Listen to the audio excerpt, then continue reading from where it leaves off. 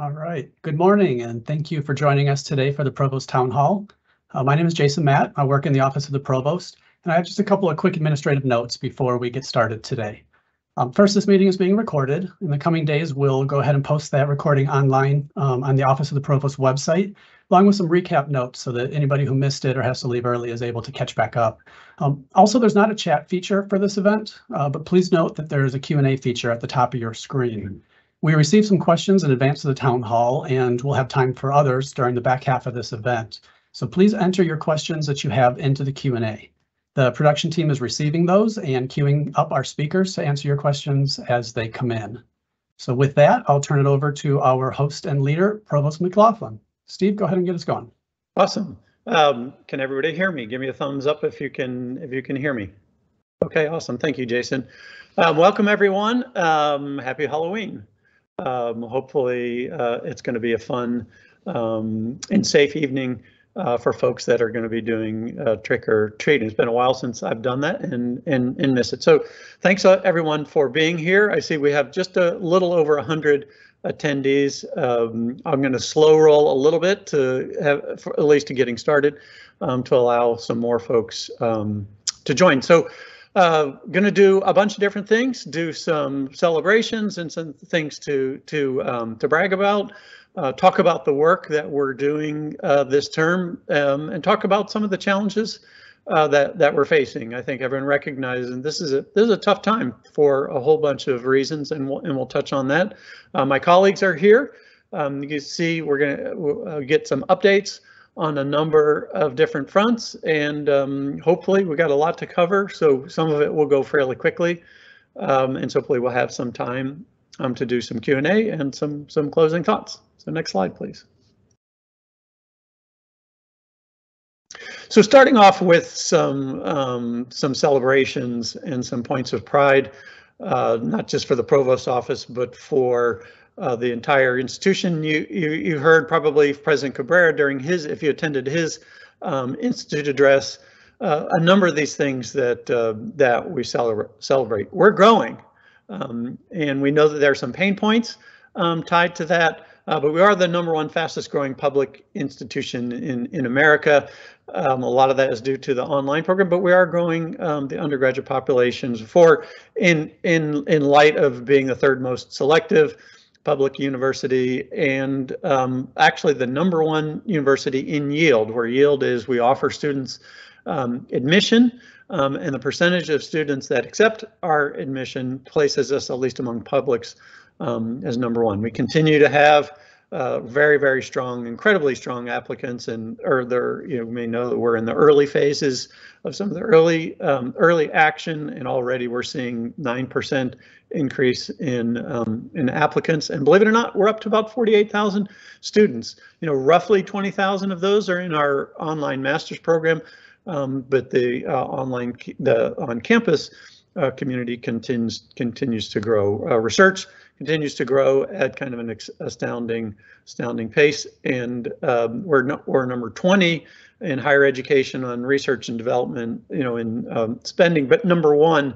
um, in the nation for the second year in a row uh, for those institutions uh, that don't have a medical school. So a lot of points of, of pride. Next slide, please. Again, some of the these are the, kind of the most uh, recent rankings. Uh, you probably know some of the criteria for the U.S. News World Report uh, was changed to focus on more student impacts and kind of social mobility um, impacts, and and we rose um, in in those rankings and and some of the other ones, including ROI, which I think um, has always been a tradition for for Georgia Tech, um, very very high ROI um, for how it is our students do at a relatively uh, low low cost. Next slide. So um, one of the I, one of the things that that I hear about um, regularly when we talk to faculty, um, really talk to anyone, is growth and and the pains tied to to growth and our attempts to really continue to keep up with that. Um, that growth uh, we tend to think of as, as relatively recent, it's not. Um, I would say only in the last two or three years have we been more intentional um, at addressing that growth. But that growth, particularly in the undergraduate student population, really started 10, 10 years ago, but maybe not as uh, as more uh, closely addressed as we've done um, in the past. Here are just some metrics, literally just within in the last year, we are a net up of 80 new academic faculty. That's tenure track and non-tenure track faculty. It represents a 5% uh, growth in in total faculty. Um, and we will continue to to make that kind of investment, uh, particularly as it relates to the classroom. Um, we did a number of efforts. That's the second point around pushing money out to the to the colleges, really focused on instruction, instruct uh, focused on the the particular pain points, um, uh, communicated with the deans, and uh, finding um, and doing you know kind of our own work on finding the the biggest pain points and pushing uh, pushing funds um, a little bit earlier uh, this year than we've done in the past um, to try to address those. There are a couple space planning efforts. We know that uh, classroom uh, uh, scheduling continues to be a challenge, particularly as it relates to, to large classrooms um, for um, uh, and, and, things like we continue to hear for, for computer science. And by the way, it's a whole other conversation. It's really a whole other hour. Um, today, 28% of all Georgia Tech undergraduates are studying, drum roll please, computer science. Um, and so we continue to have very, very, very strong growth in that. Um, and we're doing some things, uh, real, probably this year we'll be doing some things really for the first time um, to address um, to address some of that. Completely separate um, topic. Capital planning, we announced and got approval for a, a new 800 bed dorm, um, renovations of existing dorms, a whole bunch of other plans that are being discussed around housing uh, challenges. We have 3,000 students on wait lists um, trying to get on campus. You know that you know around campus there is a ton of housing available through through private um, resources, but that's more expensive. Um, and so trying to address as quickly as we can um, housing um, housing challenges. And we've also kind of restarted the Provost Advisory Committee on academic scheduling. And we are going to have to ask uh, our colleagues to be um, to be more flexible than they've been in in the past in terms of classroom utilization. That means early classes, that means late classes. Um, but that that committee has just been uh, reconvened. And I think you'll see is gonna, we're going to be more intentional and strategic around uh, classroom usage. Next slide, please. The um, I'm a, a, lot of this. These are these are the president's goals um, that relate to academic affairs. Every year, the president has to communicate a set of goals uh, to the chancellor and is held accountable for those. Uh, there's a very very large number of goals that he sets out every year. These are the ones just related to academic affairs.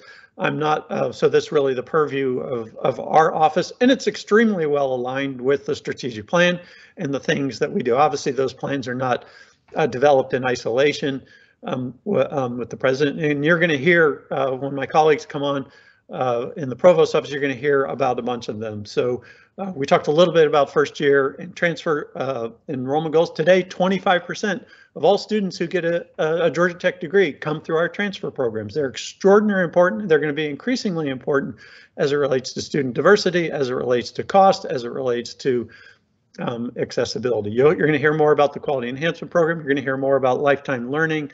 Um, there is a certainly one of the big um, outputs, outcomes of the strategic plan was around arts and how to more infuse arts both in the academic side as well as in research. You may have heard some early rumblings about Art Square. We have Technology Square, Science Square, um, you know, on the on the western part of campus is, is growing. If you've seen the construction um, in Science Square, there's beginnings and more than just beginnings about a new art square in that direction. We've uh, Georgia Tech's acquired some some land um, and plans are developing to to really um, uh, develop the arts more fully on on our campus. Uh, lots and lots and lots of emphasis on limited income students. Um, one of the places where Georgia Tech is not doing well is the percentage of enrollment of Pell eligible students. And so there's an entire strategic planning group and effort um, working on um, making resources available and in increasing the number of limited income students. It's also tied very, very heavily to the capital campaign. We maybe know we announced a $2 billion capital campaign, of which about four, the largest single goal is um, need-based aid, about $400 million in need-based aid to begin to make a dent um, in uh, making Georgia Tech more accessible uh, to families that have more limited income.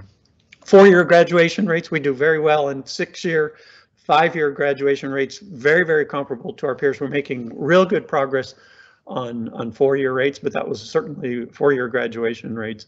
Um, um, it's certainly one of the president's goals.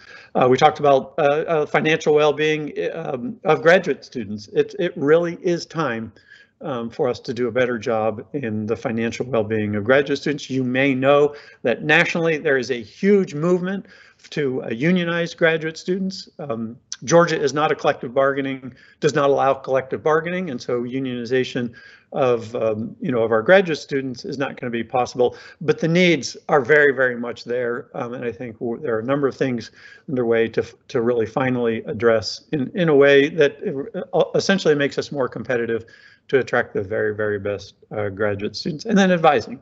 Um, we need to do a better job in how it is we advise our students. So a lot of those things will come up in successive um, successive talks uh, uh, from my colleagues in just a few minutes. Next slide, please. Uh, just to just want to touch really briefly on uh, first generation, uh, the, the for both first generation students and first generation uh, faculty this semester. The Office of Undergraduate Education will be announcing the first cohort of first generation faculty um, or kind of development programs around that. That voice for that, that uh, first generation, that faculty members who are the first in their families um, to go to college, that voice is extraordinarily powerful um, for for our students because the number of first generation students is in, increasing significantly and working um, you know closely with the office of faculty affairs on that. So for those of you number one who have an interest but number but but those especially that are first generation college students yourself um, and found yourself in faculty roles, please, please, please get involved. It means the world to our students and it has huge, huge impact on our students. Next slide.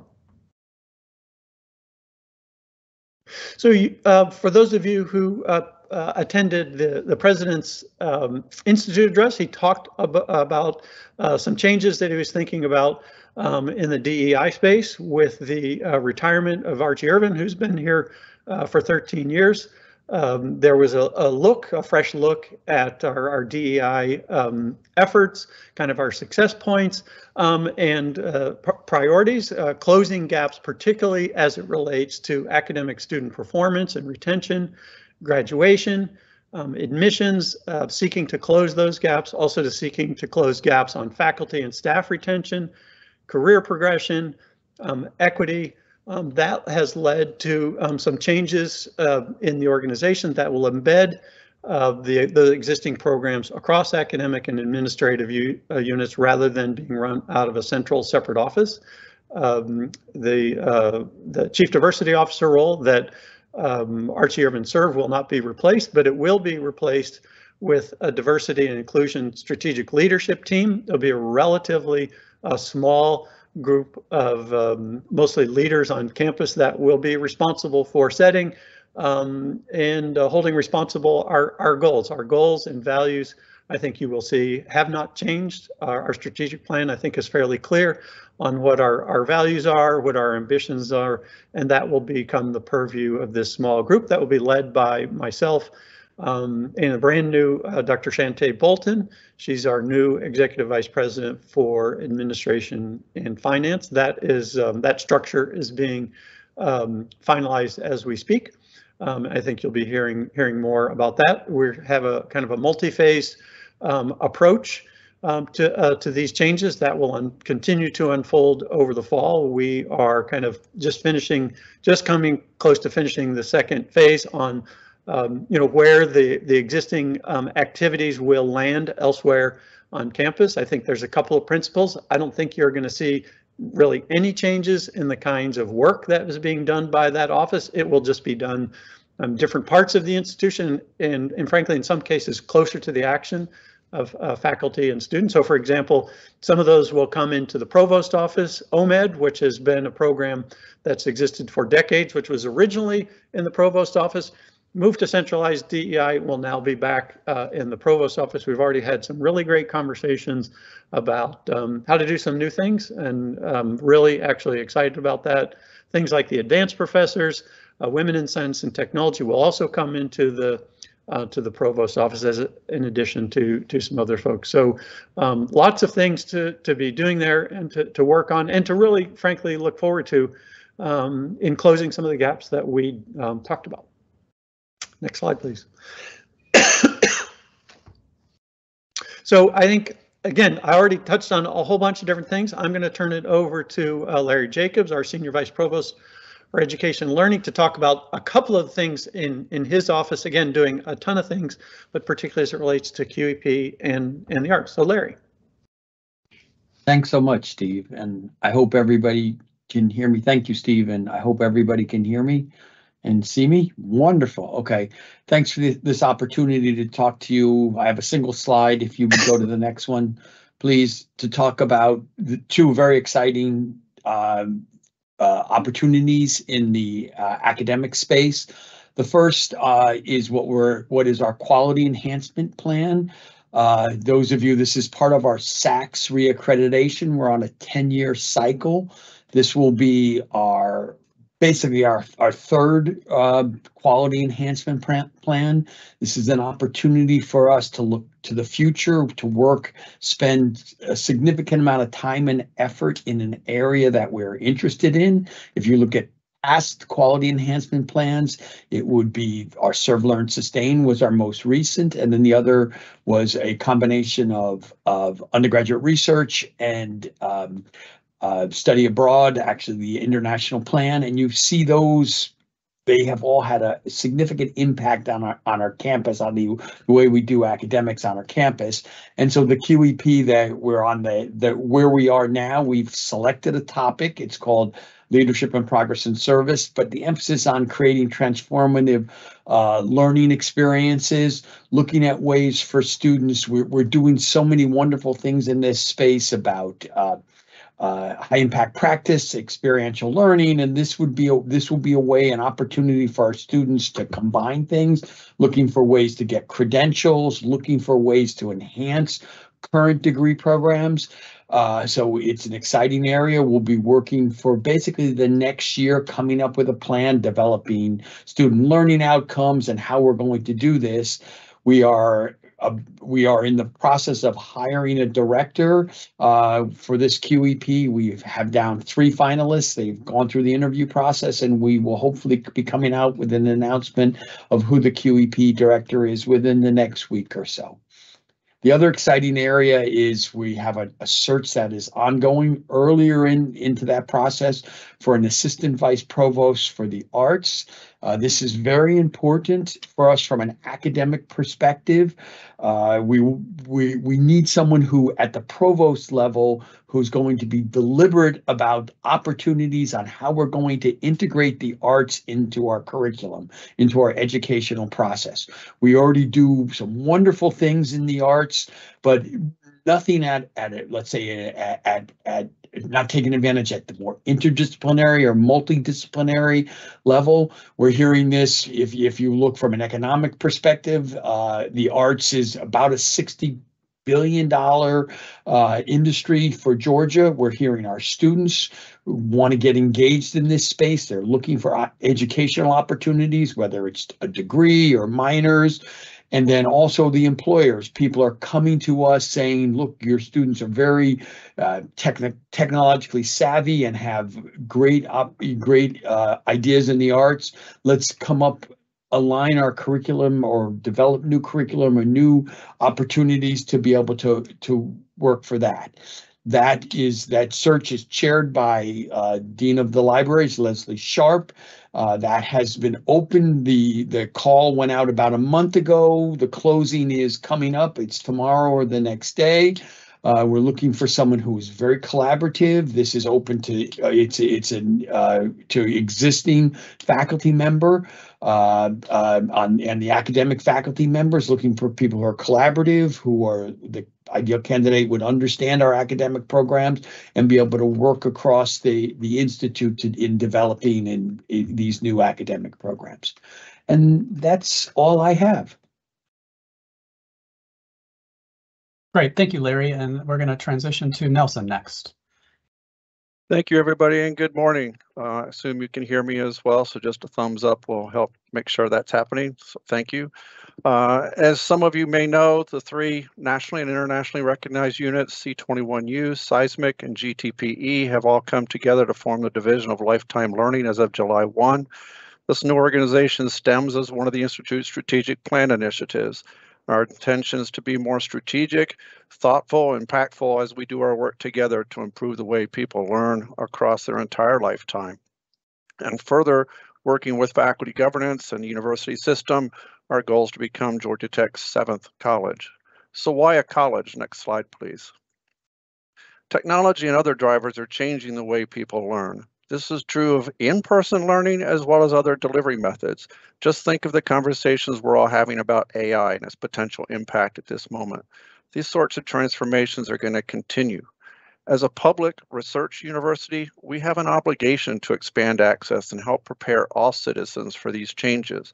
We can improve learning outcomes, for instance, for our K-12 partners and the estimated 40,000 of Georgia workers whose jobs are going to be altered by digital transformation in the next 10 years. Georgia Tech's been a leader in the past and is well positioned to continue leading higher ed in its educational innovation needed to prepare young students, young minds for college, and once they leave, support a thriving workforce in navigating digital transformation throughout the many phases of their career. The division's broad. Currently, about a thousand faculty are already working in some capacity with one of the divisions. That's most of you. We touched nearly a quarter million people last year, including 60,000 teachers and K-12 students. These learners are certainly all across Georgia, as well as in more than half the world's countries. We can improve all aspects of how people learn in the classroom, on the job, at their homes. We need to take learning to them in some capacity. A college and its faculty will help create new credit bearing programs, including interdisciplinary degrees that prepare leaders in lifetime learning fields. We're going to increase our research as we continue to improve learning at all levels, and we're going to keep Georgia competitive's advantage as the best place to do business by preparing its K to gray population with current and future knowledge. Next slide, please. The president challenged us to be bold and impactful at the start of that strategic planning process. This ISP is, initiative is both. The Phase 1 Workings Group culminated in a report presented to the ELT that can be found on the Provost website. Its main recommendation was the creation of a college focused on instruction, research, and service that helps individuals learn in the most meaningful ways across their lifetime in this constantly changing world. As I said, July 1 of this year, when the division was created, we began creating a process that would uh, work with all of you in creating design teams to help shape that future organization. We're now starting a process we're engaging more across the university on that road to becoming a college. That will include both faculty governance as well as seeking approvals from the university system. Next slide. So this last slide shows three different information session dates. All three will be the same. I'm sure you're curious to learn more and likely have questions we need to hear from you too, for this is Georgia Tech's initiative. So come to one of these sessions, be part of it. It's with you that Georgia Tech can and reach these aspirations. Thank you so much.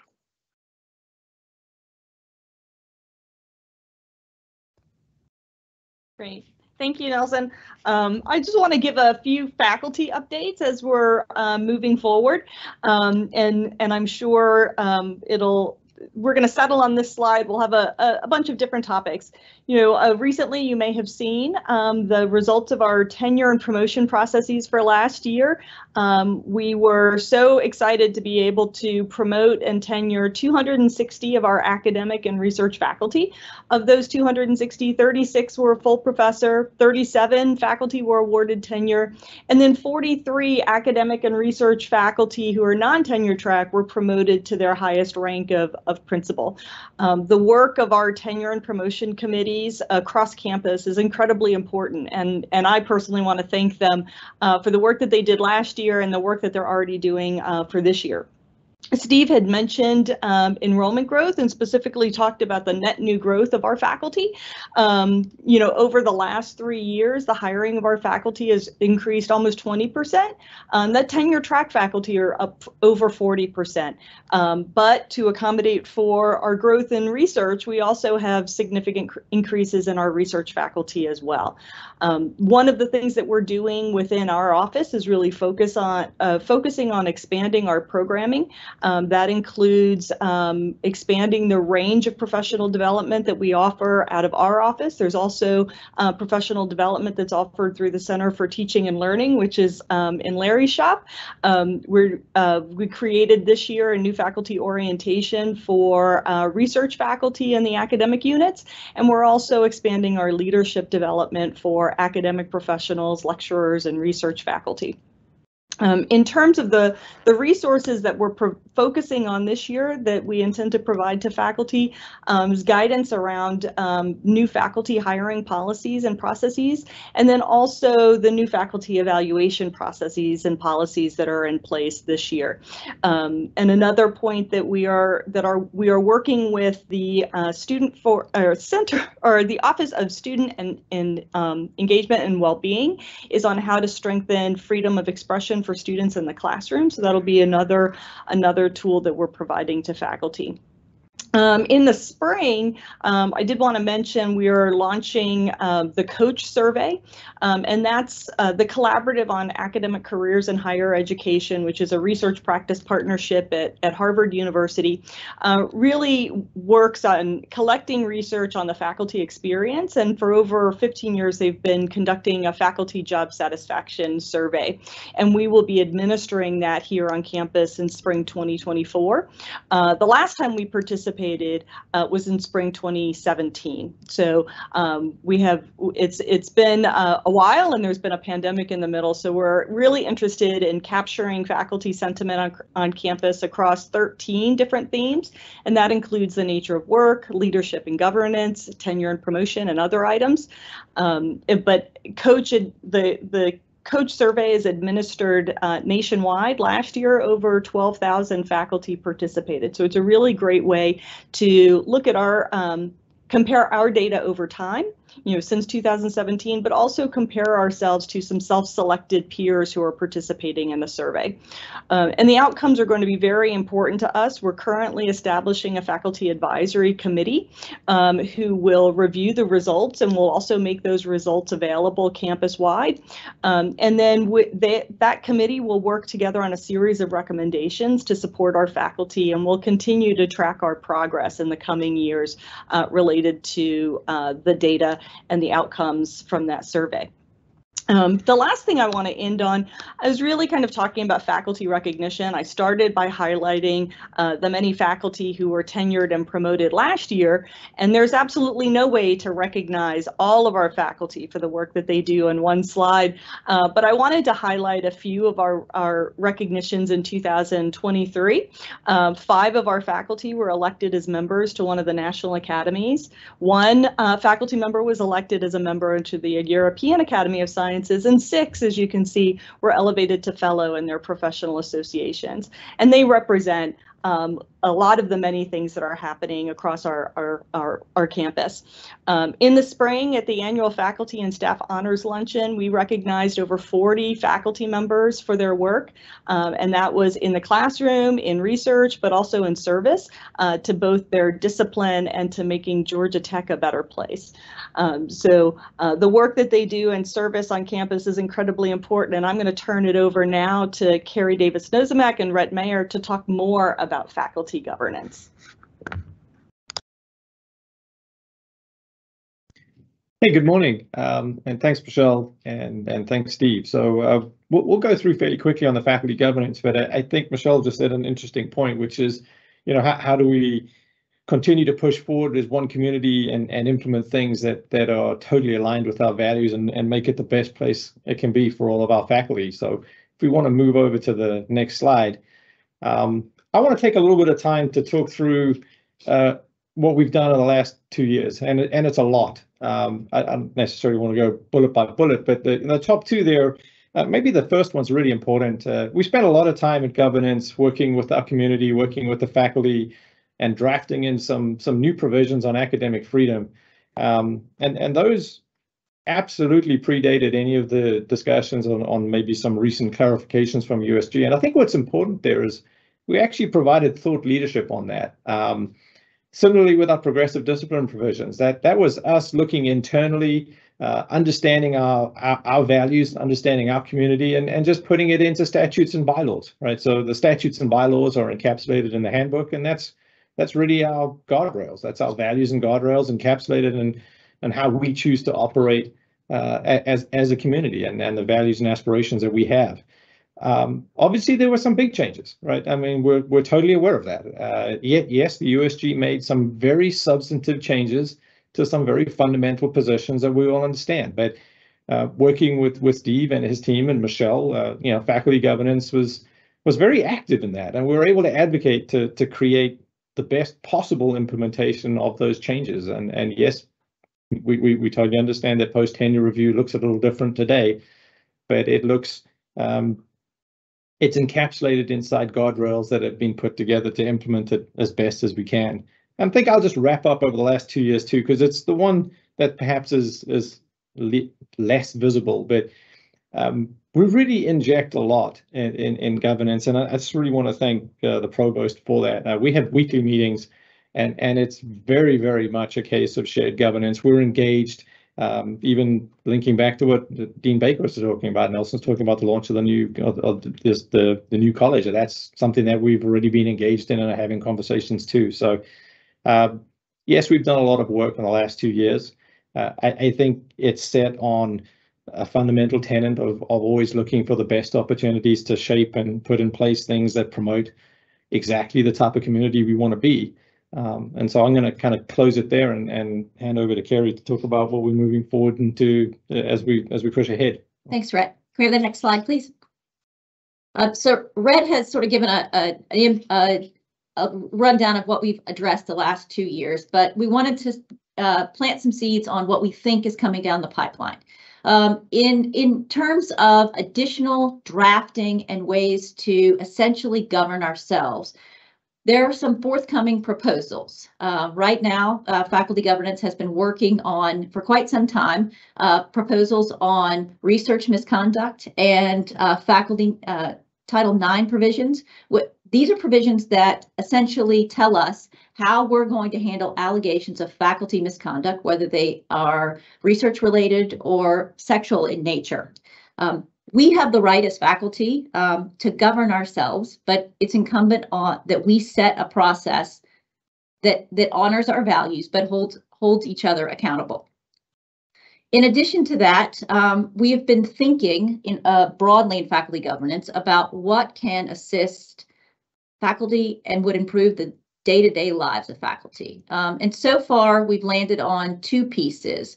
Um, one is to continue to push the administration to help us provide training, support, and coaching for everybody who evaluates uh, faculty. Partic it's particularly important now there will be mandatory meetings between supervisors and faculty, um, and that we have an entirely new um, evaluation process. The other uh, has come up more recently. Um, periodically, we as faculty um, reevaluate how we evaluate teaching. Um, but we've been leaning on CIOS pretty heavily and for, quite some time. Yet lots of members of our community are very skeptical, and rightly so, of our use of CIOS. So rethinking how we evaluate teaching effectiveness and the sort of right sizing the instrument that CIOS is, I think is important for us for faculty governance. Um, lastly, pushing on what Rhett suggested that we are providing um, accountability and input uh, weekly. I suspect if we're all reading the tea leaves nationally, right, issues of academic freedom and freedom of expression and issues of diversity, equity, and inclusion hit the national news and academic news. And, and it's critical that faculty continue to provide input and accountability for the issues that develop on campus. Um, but we can't do it without you please consider getting involved uh, in faculty governance and sharing your voice. Uh, all of our meetings are open to everybody, uh, every member of the community. Um, but they, we also have elections coming up this month. Will the unit should be running um, elections for the representatives for the the research and academic senate. And in the spring, in April, we run elections for all of the committee, which are the workhorses, the committees who are the workhorses for faculty governance and our executive board. So please stay tuned uh, for impending announcements for elections. We appreciate you. Great. Thank you, Carrie. Thank you, Rhett, and thank you to all of our presenters that we've had up so far. Um, so as I mentioned at the onset, we are going to do a Q&A segment. Um, as a reminder, there's a Q&A feature. If you can send your questions in to us, um, we are ready. We got a couple in advance, um, but we are ready for more and we definitely have time for it. So please do use that Q&A to send in your questions. Um, before I get to our first question today, I did want to turn it back to Provost McLaughlin and just see if, uh, Steve, if you had any kind of closing thoughts or any uh, recap remarks from what we just heard before we go to the questions. Sure, ab- absolutely. I, do. In fact, I might have more than than less uh, because uh, already, um, you know, just a number of things have, have come to mind. Some of which I think are, are are obvious. But let me step back just a little bit and pick up where where Carrie left off um, around the involvement of faculty governance. And it really is begging people, please, please, please get involved. I think we are entering a new era um, of faculty governance, and I think that that has shown up in a bunch of different ways. It showed up with post tenure review. It showed up with um, it showed up in the in the pandemic. Um, as Rhett pointed out, um, uh, we did work together in, in, terms of freedom of expression and academic freedom that has paid off um, in this in this challenging moment. We have very very regular, as Rhett pointed out, we have very very regular candid conver conversations and have really never ever worked uh, better together. So I have a huge, huge thanks to Rhett and Carrie uh, for that for that partnership. Um, and really, please, please get involved. You you absolutely have a voice. You can absolutely make changes. Some of the, for so for example, some of the changes, organizational changes that have taken place um, in DEI, um, faculty governance had a direct voice um, in in those, and, and will continue to have that that voice. So so please please do get involved. Um, one of the things that I think um, you may have hear me say is kind of tend to the obvious, and I think there's some obvious things that haven't yet addressed um, here that I that I certainly intended to and, and want to do right now. There's a lot happening um, in in the world um, uh, today. Let me just kind of go back to uh, affirmative action and the Supreme Court Supreme Court decision and just say a little bit about that uh, about what it is we're doing. You know, that the first of all, race and ethnicity were never a determining factor in admissions um, at Georgia Tech, but our, our the application we had before did have um, the ability for uh, applicants um, to disclose uh, racial, uh, racial um, and ethnic information as part of uh, you know several factors that was part of the holistic um, evaluation. We have removed that option in compliance with uh, the court's ruling, and we're going to continue to do the work to remove barriers and um, stay true to our goals that we've uh, communicated in the strategic plan. It's not just for undergraduate admissions, it's also graduate admissions. Um, and I think for the for faculty here, we know that that admissions on the graduate side is done locally. Um, at the college in, in Bonnie Ferri has done fantastic work in working um, with the individual colleges and units to make sure um, that admissions that's being done um, locally for, for graduate uh, programs is done in conformance with, with the court's ruling. Um, also, uh, you know that um, the, some of the uh, recent USG University System of Georgia Board of Regents policies, um, in, in particular in, in HR, um, um, have changed how it is we do, say, faculty recruiting um, and job applicants. We many many units used to have uh, DEI statements as part of their uh, you know faculty recruitment, kind of assessing folks' interest in that space. Those are no longer allowed. Um, Michelle um, has been working closely with HR to again to kind of to communicate to the colleges and schools as you go out to, to, to emphasize our strategic plan. And there are ways um, for us to not give up on our goals, not give up on our values, uh, because we can't do DEI statements, but to, to invite um, to invite applicants to to talk about our values and to talk about the things that that are important. I'm absolutely convinced that we can achieve everything that we set out to achieve in in the strategic plan in light of you know factors really outside of our our our control, or things that we're that we're required to do. I think the last thing I want to I want to touch on is obviously you know the the anguish that we're all feeling um, around the continued war in Israel and Gaza. Um, you know, in a, in a diverse community like ours, um, each of us experiences these events um, in in different ways. But really, now more than ever, we have to be uh, committed to constructive dialogue, to mutual respect, care, and compassion for for one another, for our students, for our faculty, and and staff. So many people are directly affected by what's happening um, in the region today. Um, and, you know, every member of our community has the right to speak freely um, and to expect respectful interaction and discourse. Uh, those are the expectations of, of our, our community. We, we have had some incidents of both um, personal and um, uh, on, on individual people and property, and those are all being uh, all being uh, addressed um, really daily. Um, and so we really do have the right, again, to to to speak freely, uh, but but to be respectful and and just most of all show incredible care for um, each other in this really really really challenging um, moments. I already saw there's a, a question there around uh, anti-Semitism. Of course, anti-Semitism is not tolerated on on our campus, um, and in line with the things that that I shared um, we expect our community um, to hold each other to um, to those values that that those are those are not acceptable on on on our campus as well as many other kinds of um, speech or threats or or uh, we can we can have conversations in a really uh, careful and uh, respectful way most importantly so that our students feel safe our community feels safe. And if if um, if you see things, if you experience things, absolutely do not hesitate to reach out to me, to the police. Um, if there's anything that my office or others can do, um, we will continue to obviously watch the situation very, very closely um, and be assistance um, in the best way that we can. So with that, I think we have about 20 minutes um, of, of Q&A. I don't know what kind of questions maybe have have queued up. I haven't really been been watching. But again, I want to really thank everyone for being here. We have almost 200 people. Um, so thank you for caring. Um, thank you for uh, taking care of each other. So uh, back to you, Jason, for questions.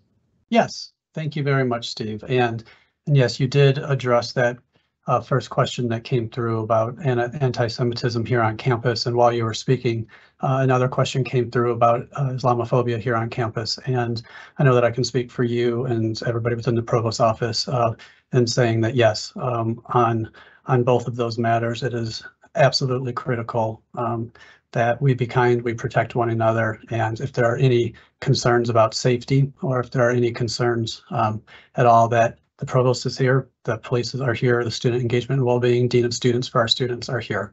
Um, with that, I'm going to uh, go to our next question, which was, uh, I'm going to turn this to Steven Girardot, please. Um, Steven, a lot of our first year students are coming in now and are very used to technology as a primary tool in learning.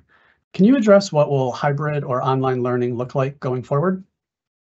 Sure. Thanks for the question and um, happy Halloween to everybody. Yeah, I, I, it's a great question. And I, I do want to start with the premise, which is um, just acknowledging too that not all first year students or learners will come in fully comfortable with online technology for a variety of reasons, particularly as we look to expand access to Georgia Tech and we may bring in students from different backgrounds who have not been well versed in technology. That said, I do agree that overall students are coming in with more comfort and experience with online learning.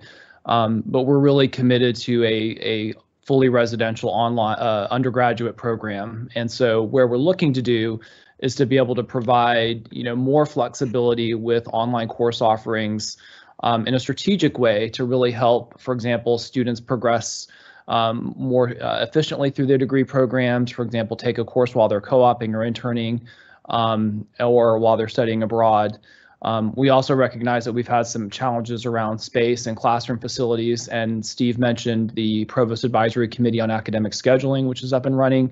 And so working in coordination with that group, which is going to really have to look carefully at um, how we schedule classes and when we schedule classes and explore some of the things that we left off doing a couple years ago before COVID um, in, cl- in classroom scheduling.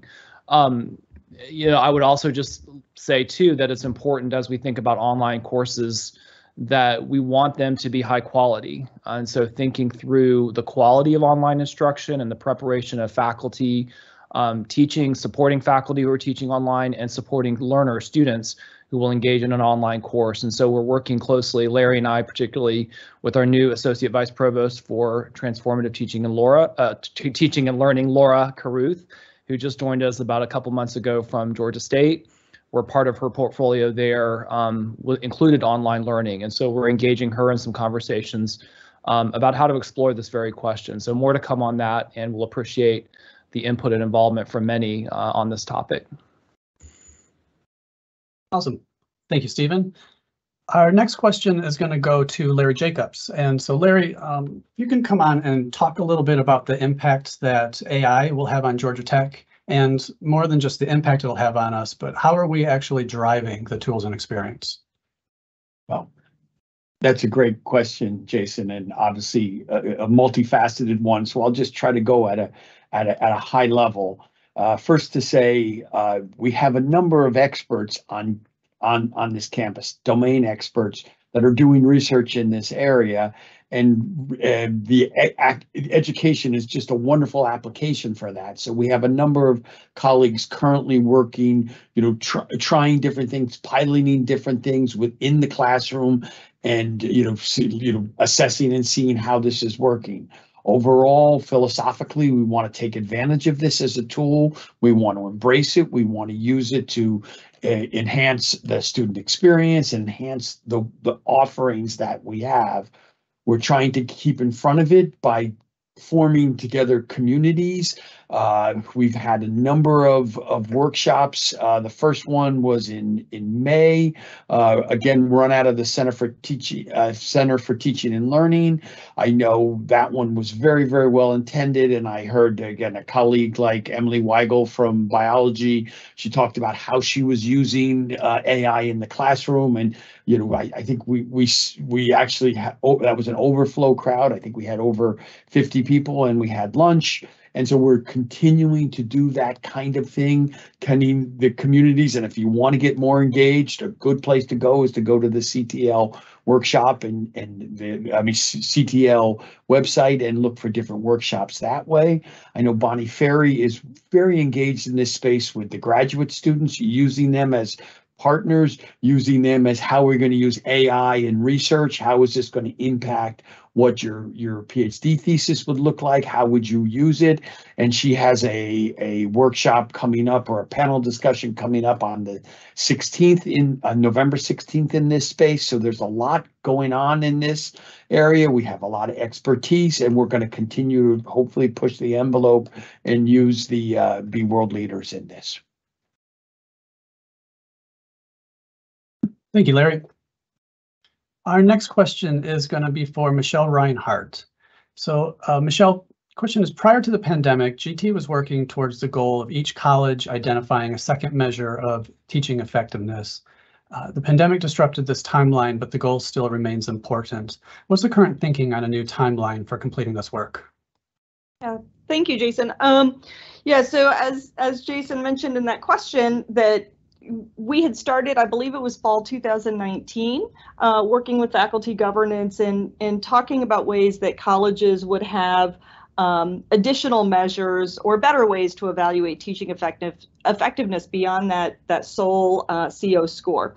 Um, the pandemic um, kind of delayed our response there. And then also the, the unit level work on the evaluation rubrics for annual evaluation and post tenure review also got in the way of this. And we're we're very sensitive in in our office to not overburdening the units, um, but we also know that this is an incredibly important issue for our faculty. So um, I believe that that this should be a, a, partnership with with faculty governance, with the the Senate and the Fed to talk about the appropriate what what is the appropriate timeline and what are the ways in which we can work with the units and the colleges to establish. Um, uh, a multi-layered approach in evaluating teaching effectiveness. And we already know that we have some colleges on, on campus, Sciences and Ivan Allen, for instance, who already do this.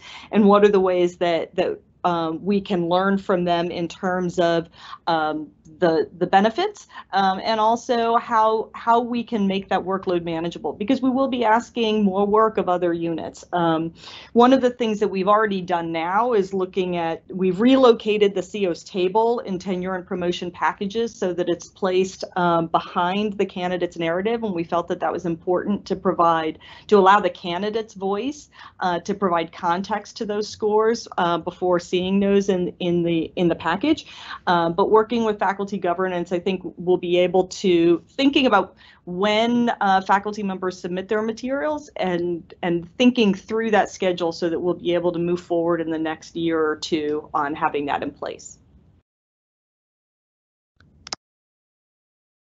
Thank you very much, Michelle.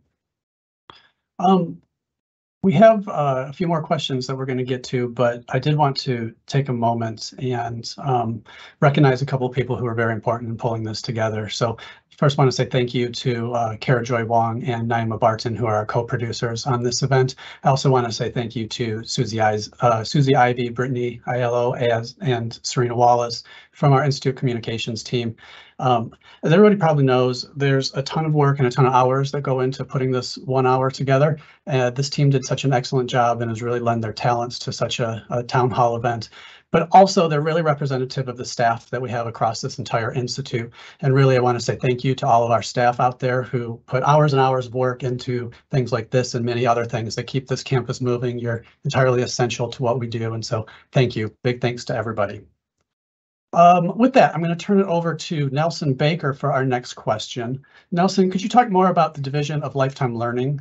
Will this integrate with the GT Extension Office or work with Georgia's community colleges? And is there a vision yet for how we continue our mission in producing bachelor and graduate degrees, but at the same time impact education in our communities across the state? Thank you, Jason. Thank you for the question. Uh, I think the vision is beginning to take shape, but that's where these information sessions that I talked about and the involvement of people across this university is going to be so important to help shape and refine such a vision. Georgia Tech already works with many across our state, the university system, the community colleges, and, and far beyond in trying to create pathways, but I think we can be more strategic and meaningful in how we do those kinds of activities. And it goes beyond just the pipeline in from the traditional sources. We talked uh, a little bit during this town hall uh, about those um, partnership programs, but what might happen post graduation and, and post success? How do we make sure we have those educational opportunities for our uh, citizens of this state beyond to make them a thriving member of our community? So yes, we need to be doing more strategically with creating these partnerships. We continue to learn so much from the individuals that are in all of our programs, both the at-scale degree programs, the 45 years of degree uh, distance programs, and our non-credit programs. We're seeing people come into them to pivot careers and to uh, prepare for a future degree. How can we purposely think about that? So I welcome the conversation. I welcome the engagement from everybody to help shape a better vision for Georgia Tech. Thanks, Nelson. All right, I'm going to bring the provost back up again. The next question, you mentioned that Institute Diversity will be moving and better connected to various academic areas around campus. Can you give an overview of areas such as OMED and CSDI and who they will report to? Sure. Um, great question. Um, so in the case of, uh, of OMED, uh, that will be re reporting through um, Larry Jacobs' office. Uh, for uh, through education and learning. As I said, that was a um, OMED used to be in the office of of the provost and and is now is now back in. Obviously, uh, for those aren't familiar, it's really around student success programs for uh, graduate, undergraduate um, students.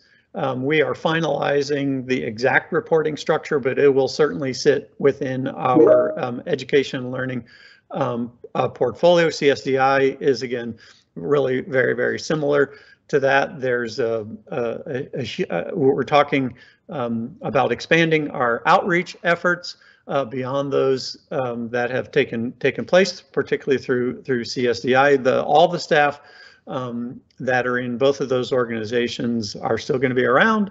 Um, I think you won't experience really any changes uh, what, whatsoever. I think the changes that you will see are uh, you know improvements um, over the um, you know in the in the coming years as we do as we do more and more.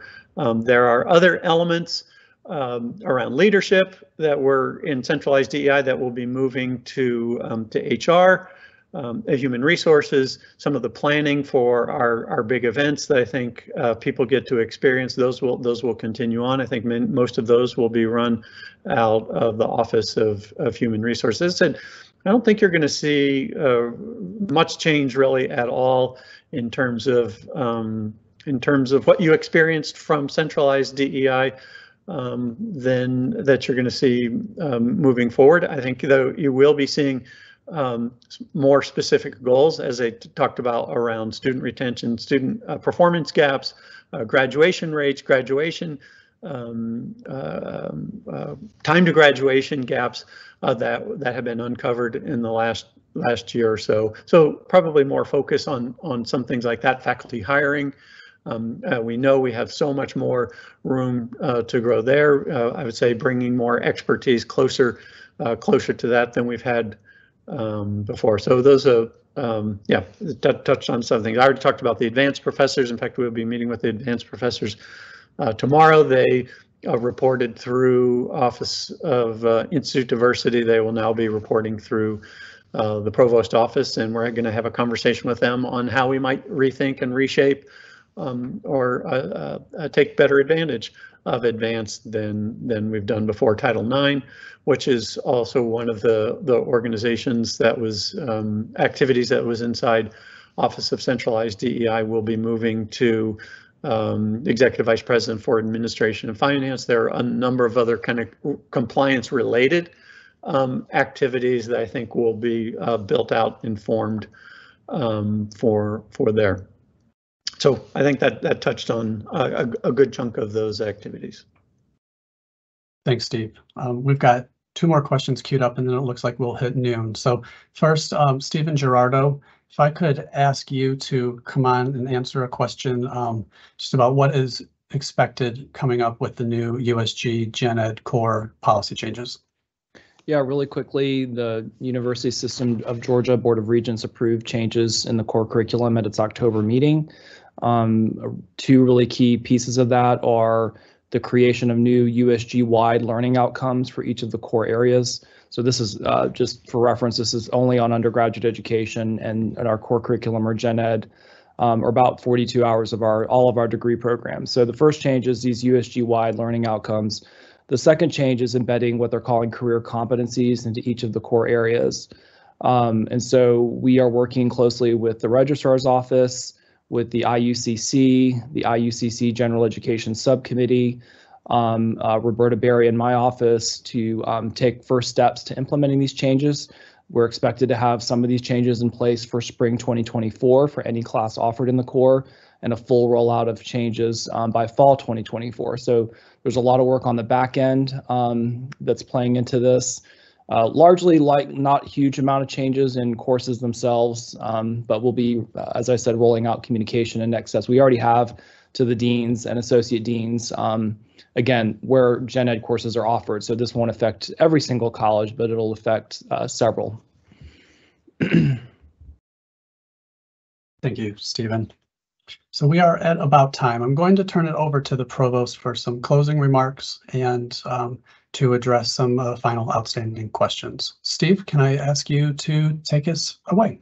Jason, and I think, I think uh, those, there are questions in particular, um, particularly as, as relate to uh, Muslim students and faculty feeling like they've not been heard. You know that the president did meet um, with a group of students and faculty, I believe it was last week, certainly seeking all the opportunities we can to continue those conversations with, with faculty and, and students. Um, so please don't hesitate to, to, to reach out to us. I think the overall the overall message is really please, please, please continue to take care of each other. Um, respectful dialogue, respectful, um, respectful speech um, is what it is. We're we're all about. You know that that's uh, one of our core our core values. Um, be safe, um, treat each other kindly um, in this really really challenging challenging moment. You saw we have things to celebrate we have things that that we're working on and challenges that that we continue to um, to work on, um, doing our very very best, uh, but most importantly, trying to support our faculty and students the best way that we know how. So I think with that, it's 12 o'clock uh, high, and so thank you all for being here, um, and take care, and don't hesitate to be in touch.